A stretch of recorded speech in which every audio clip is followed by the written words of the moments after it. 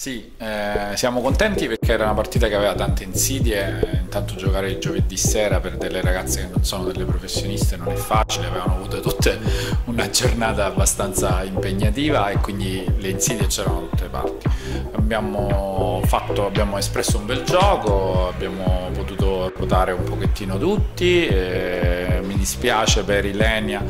che ha avuto un piccolo infortunio, speriamo non sia niente di grave, adesso valutiamo un attimino cosa è successo, e, mm, però diciamo, il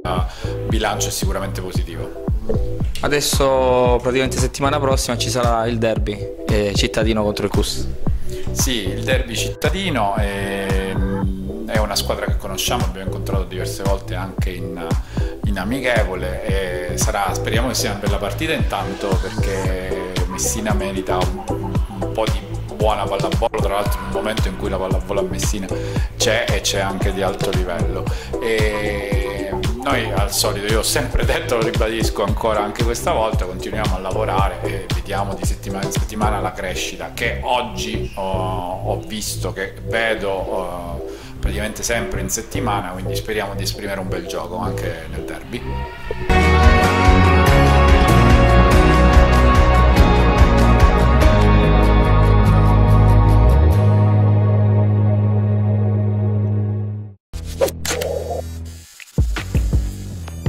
you